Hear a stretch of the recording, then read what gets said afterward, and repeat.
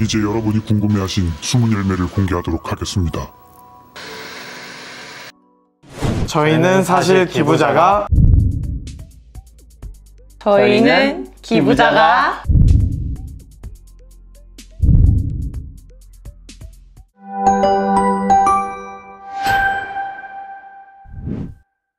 저희는 기부자가 아닙니다. 죄송합니다.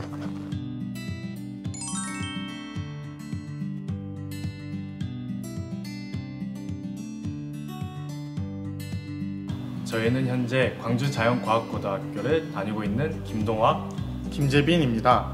대회를 준비하면서 참 우여곡절도 많았고 선생님들의 여러 도움도 있었어요. 받은 상금을 어떻게 나눌까 생각하다가 기부를 생각하게 됐습니다. 저도 걔가 똑같아요. 이번 대회 준비하면서 너무 고생했고 근데 레시피는 내가 다 짰으니까 공이 좀 더 큰 걸로 할게. 레시피를 너가 다 짰어도 결국 재료 사고 한 거는 나니까 내가 더 크지. 사실 기부 한 번으로 이렇게 인터뷰 영상까지 찍을 줄은 몰랐는데 생각하지 못해서 긴장도 했지만 또 뜻깊은 촬영이었던 것 같습니다. 처음 촬영하는 거다 보니까 긴장을 많이 했는데 친절하게 알려주시고 많이 다독여 주셔가지고 아무런 문제 없이 잘 해결했던 것 같습니다. 정말 많은 기부 그런 종류가 있고 내가 할 수 있는 일이 무엇인가라는 것을 좀 느끼게 되는 것 같습니다.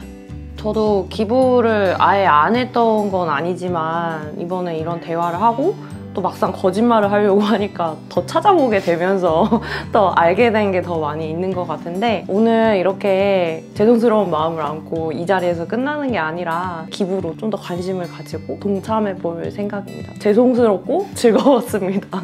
미래의 가게를 차린다면은 이제 많은 분들이 오셨으면 좋겠습니다. 저 또한 가게를 차릴 생각이 있는데요. 그때는 착한 가게 간판을 달고 기다리고 있겠습니다.